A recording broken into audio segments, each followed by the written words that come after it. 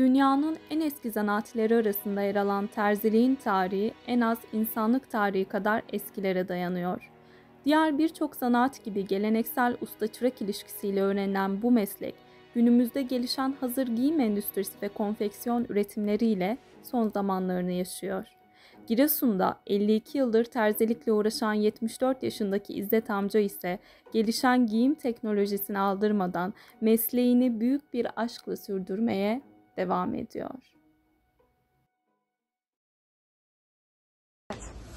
Adınız ne? İzzet Özdemir. İzzet Özdemir. Kaç yıldır bu mesleği yapıyorsunuz? Ee,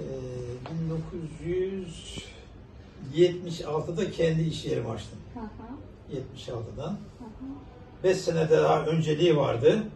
Yani çırak ve kalfalık Hı hı, Vardı, Toplamda yani meslekte kaçıncı yılınız şu an? ee, 71'de başladım. 71. 71, 7 küsur sene oluyor yani eşeğine beraber. Maşallah. Bu. amca bu e, kaç yıllık demiştim bu makine için? Başla koydum. 50, 50 yıl. 50 yıllık. 50 yıl. Devam. Eski Aynen, makineler. devam. Şimdi daha günümüzde böyle daha farklı makineler var. Var, var, Terzilerde var. görüyoruz ama Hepsi var. Otomatik makineler var. Aha. Ceryan şeyler var da. sen bunu Bunu kullanıyorsun. kullanıyorum. Bunu ben sevdim. Bunun ekmeğini çok yedik bu makinemizin. E, Bir sıkıntı da yok. Dikişi de gayet güzel. Aha. Hoşuma gidiyor. emektar, emektar. İlk emektar çok da şey yapan oldu bana. Değiştirin dedi. Yenisini alın. Hani ama imkanlarımız var. Aha. Alamacık da değiliz. Ama sevdim bunu ben. Evet. Devam ediyoruz. Çok güzel. He.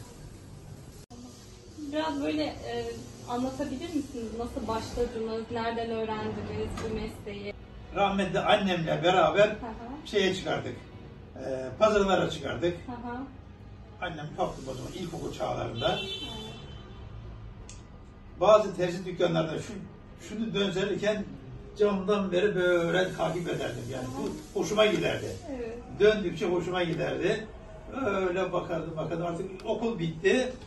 Bitmeden önce öğretmenlerimiz vardı Çanakkale'li. Ee, işte Sener dedi sorar da bizlere ne olacaksın ne olacaksın falan. Ben de dedim terzi olacağım dedim.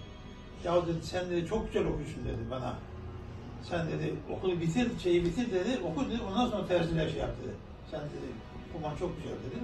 Yok dedi ben de bunu sevdim dedim. Bir Kişisel merakınız yani. Ben kişisel merak, merakım. Yani bunu kimse şey yapmadı bana. Ondan sonra işte terziliğe girdik 1900 kaç senesinde işte okuldan çıktıktan sonra 71'de falan çıktık. Okul 72'de terziliğe girdik. Çıraklık yaptık. Öğrendik 3-5 sene çalıştık. Ondan sonra kalfalık yaptık. 10 e, aşağı yukarı 10-12 sene el yanında çalıştım. Ondan sonra kendi iş yerimi açtım. Hı hı. Askerden gittim. Burası ilk iş yeriniz değil Yok. o zaman. İlk iş yerim az yukarıda. Hı. Bu üçüncü iş yerim. Üçüncü iş yeri. üçüncü iş yerim. Peki hep böyle yalnız mı çalıştınız? Yok, dört, daha önceleri dört kişi çalışıyordu yanında. Dört Üç kişi. kişi, bir de ben dört kişi çalışıyordum. Ama şimdi yalnızsınız. Yok iş yok. Artık çırak yetişmiyor yani. Yetişmiyor, gelmiyor. Şey, şimdi şöyle, çıraklar e, okul şeyi, şey, e, ne diyeceğim ona, ortaokulu bitirdikten sonra liseyi de bitiriyorlar. Evet. Ondan sonra daha çırak gelmiyor. Geliyor 16-17 yaşına geldikten sonra daha meslek yapmıyorlar. Yapamıyorlar, öğrenemezler zaten. Hmm. Genç yaşta. Tabii genç. Olması Önceden neydi? Beşinci sınıf vardı. Beşinci sınıftan sonra Evet. isteyen okurdu, istemeyen sanata giderdi. Evet. O şekilde sanat devam ederdi. İşte biz de bu mesleği. Buna devam ettik. On, e, Kaç sene?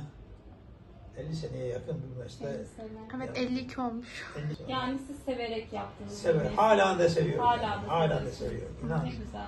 Seviyorum. Ben bir pazar günü olsa böyle pazar günü yine burada geçirmek istiyorum. Hı hı.